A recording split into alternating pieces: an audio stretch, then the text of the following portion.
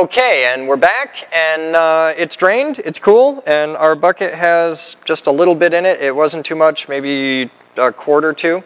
So let's take out, we've got, this is the lens, which appears to actually be aluminum. It's very light.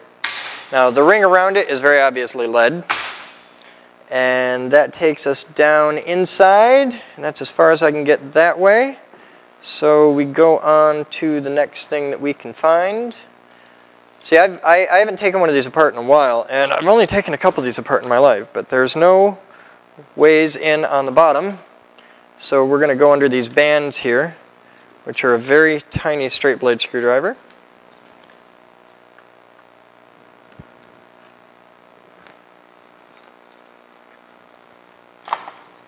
And while on the break and while this was draining, we came to the realization that when we're taking apart small things like this that are really oily, that are you know not really big enough to effectively do on the floor, things that we want to do on some kind of table for the videos and that, that would probably be a good idea to do them on a table we can really clean off easily for, for big oily messes. And we happen to have in stock an autopsy table for this.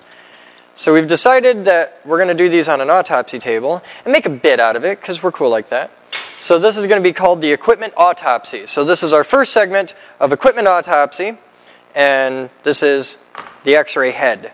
Um, while I'm getting into this side, I'm going to need the Allen wrenches because we got to find one for that. So I'm going to need an Allen wrench about half the size of that one. I'm just giving you a heads up on that. Now we're down to the terminals, and the, there's the two big high voltage terminals that go in down in these sockets, but there's four low voltage terminals up here, and these would be for the motor assembly. And they're on there really tight. So I'm going to take these off. Okay, and there's the last one, the ground lug. Now, what's kind of cool on this, I noticed this earlier,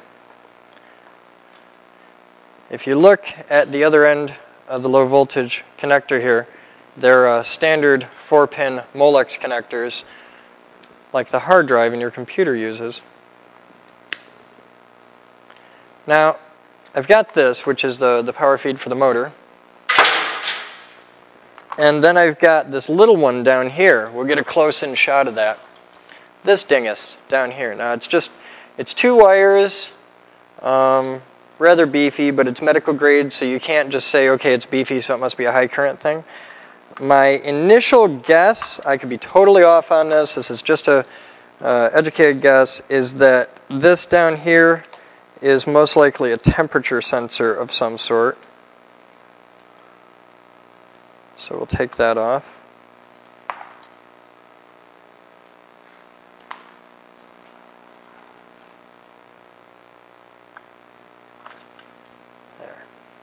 So yeah, it's it's, pro- it's, it's probably a temperature sensor.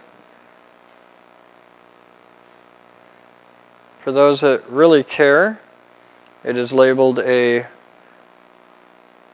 1M wood 90 slash 02 00U hyphen 222 hyphen 2.1L 170. So I have no idea what that is, but I'm just going to say it's temperature sensor. It's my theory. And now we have to do some digging and find the Allen wrenches that fit.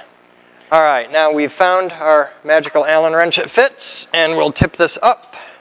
And I'm going to take the end cap off since I'm here.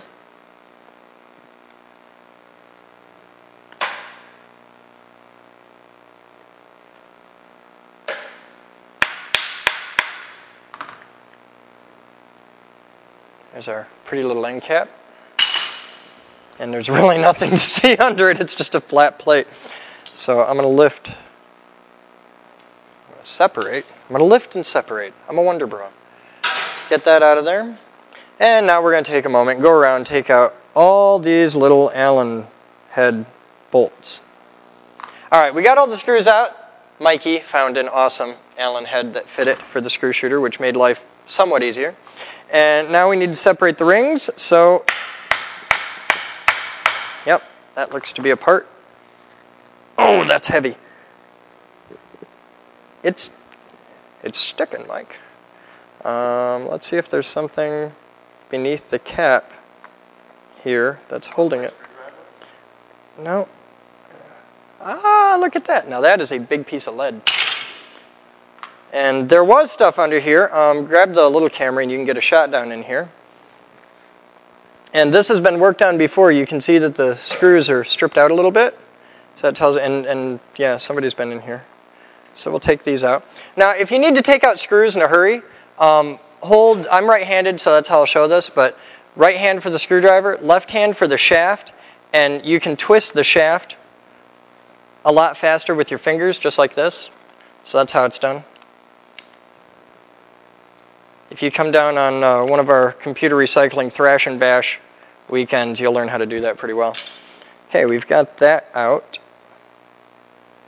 And get in here with a little lever action. There, we got that. Now I've got a, a rubber seal.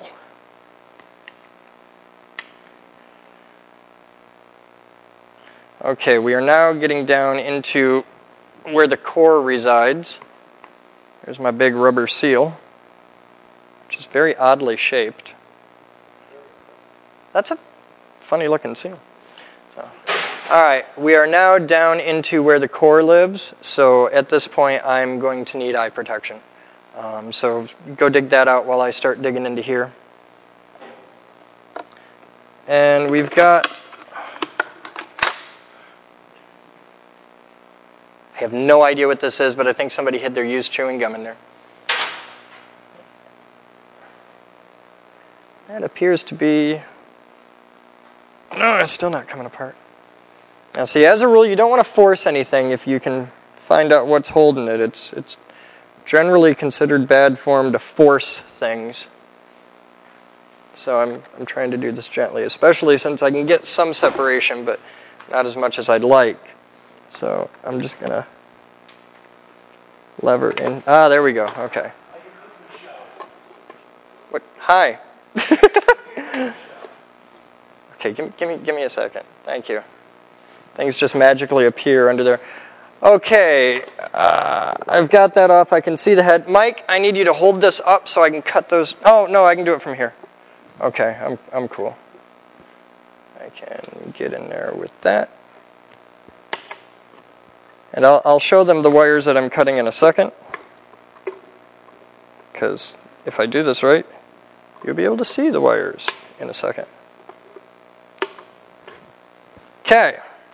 Now, there's inside the head, you can see the, the really thick shielding and the seals and all that stuff. That's, that's inside the head, and there's the three wires that come up. These are all the high voltage wires. Um, now, the way this works, there's three wires that come down the high voltage cable. Now they're all insulated from ground at like 150,000 volts. But they're insulated from each other at pretty, you know, not, not a whole lot of insulation. They pretty much touch. And the reason is one of these wires, let's say we, well, we've got a white, a red, and a black. So let's make things easy and say that the red and black are positive and negative to the filament. So these wires only have 3 volts between them. Now this wire is at 75,000 volts. So from here to here would be 0 volts. From here to here would see 3 volts. So they're all at right around 75,000 volts, but there's a 3 volt high current charge across there that comes off one of the filament windings, and we'll show you that in the, in the transformer when we get back into the transformer. We'll show you how that stuff works. So that's pretty much this whole end of the assembly.